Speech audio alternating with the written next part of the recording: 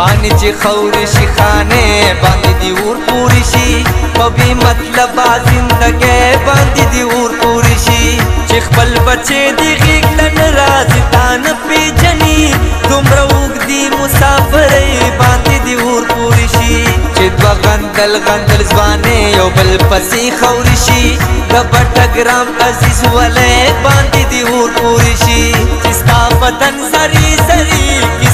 کاران شي د غریال د غروپې باندې دی ور پوری شي ما ګل نصیب لا یې ټول ټول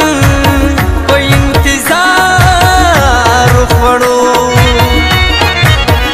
دغه د پوری چمچ نه باندې دی ور پوری شي